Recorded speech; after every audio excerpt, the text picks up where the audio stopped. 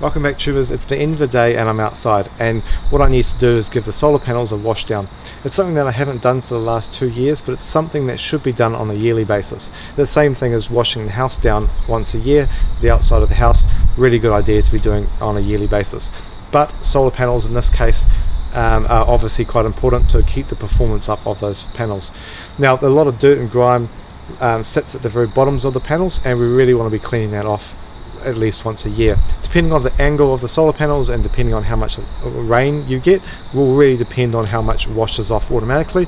However, there's always um, bird crap and things like that that do really sit on there and it get baked in over the summer um, months. So it's a good idea to wash them off. That being said, two things we're going to use. First of all, we're going to use a brush on a long pole and it's a brush that you'd use for washing down the windows or washing the side of the house down.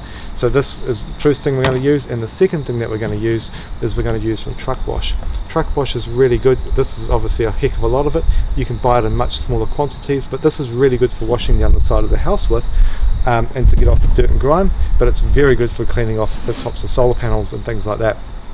It just removes dirt and things like that and the first thing you want to do is just spray it on there let it sit for 30 seconds give it a good brushing off and then spray it off with water.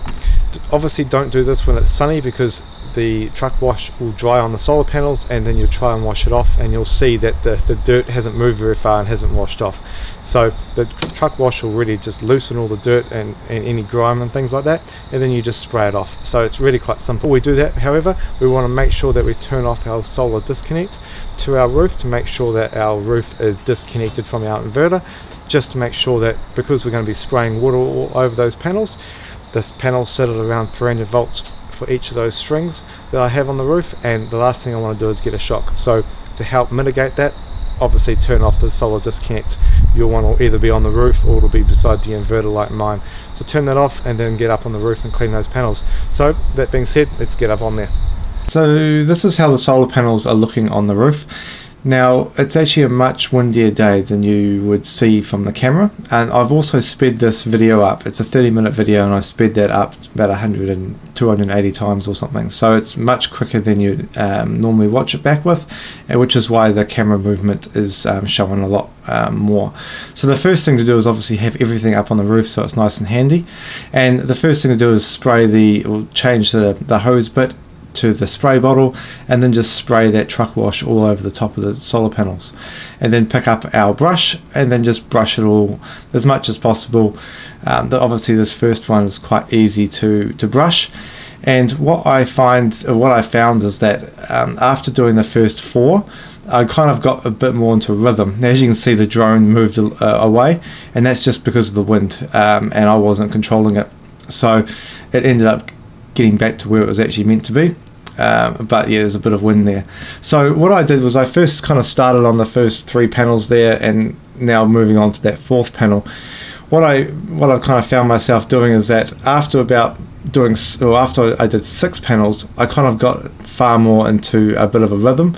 And uh, while I was up there, I was trying to also do it as quickly as possible because obviously I was mindful that we've got the drone up in the air and it's videoing me, and um, I'm, yeah, I'm just trying to work as quickly as possible before um, there was a bunch of rain clouds coming over.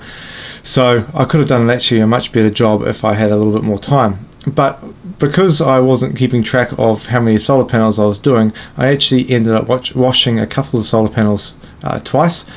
But hey, that's okay, and you might notice that um, when you watch back this video if you watch it a few times. But either way, after doing this the first time, this is actually the first time I've ever washed the solar panels up on the roof. But after watching, uh, washing it the first time, next year is going to be obviously so much more easier because I've already done it once before. As you can see there, after doing that brush, I'm now washing those solar panels back off again and making sure that it's done before any of that um, truck wash dries on the panel. When washing the house, you really notice um, if you don't wash the solar panels off, or sorry, if you don't wash it off quick enough, you'll see that it just doesn't remove the muck. It's very hard to show that on the solar panel, especially on this video, but um, take it from me that um, the best thing to do is wash it off uh, after you finish rubbing it before it dries. So now I'm moving on to the next set of solar panels there. And yeah, I've sped that up just to the next part here but as you'll see because you don't really need to see detailed about how I'm washing it it's just kind of nice to I suppose see the complete process there but and you can see really just that drone moving around quite a lot um, yeah it's a, the best thing to do is obviously do this when it's cloudy which obviously means normally when it's cloudy um, at the end of the day it's, it's potentially going to rain or the wind's picked up and that's exactly kind of what happened in this case. Uh, today however we've got a nice sunny day and um, it would be a nice still day as well with no wind but um, that's not the best time to do the, the wash. So as you see there I'm pulling along that hose and I'm really trying not to fall off the roof.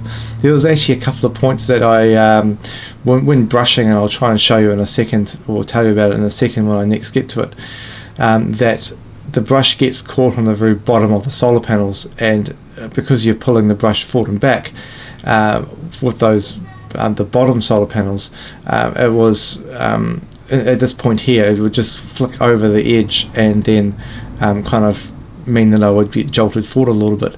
So you've got to be extremely careful when obviously washing these panels because obviously if you do fall, uh, the solar panels are wet and slippery and you just slide straight off just like being on a slide. So that's obviously not what you want to do. Luckily for me this is only a single story house um, but obviously falling off is not the best idea and um, you really want to be if you've got some kind of safety harness or anything like that it's obviously a good idea to wear something like that. But um, in which case for me um, yeah I'm trying to do it as carefully and as quickly as possible um, to try and get this on video. But most of you guys won't be videoing it and you um, won't be trying to do a few things at once. So and obviously trying to do it as quickly as possible the main points is obviously to wash the very bottom of the solar panels as, as well as possible because that's where, really where a lot of the dirt um, turned out. But also those bird um, craps that were also on the, the panels those need a bit of a scrub to get them uh, get those off. And um, obviously obviously once again we are washing those panels down. And I've just I've actually got some rainwater catchment that go to some water tanks. So for this for the next couple of rains I'm not going to be catching that part of the water because I don't really want um, soapy truck wash or any dirt and grime um, getting into my tank water. But either way as you see there that pretty much that process is all nicely done. And then the next part is obviously being very careful on the roof because it is now wet and try not to fall off once again. So guys if you really like this video subscribe and like and I'll see you guys on the next video. Thanks again for watching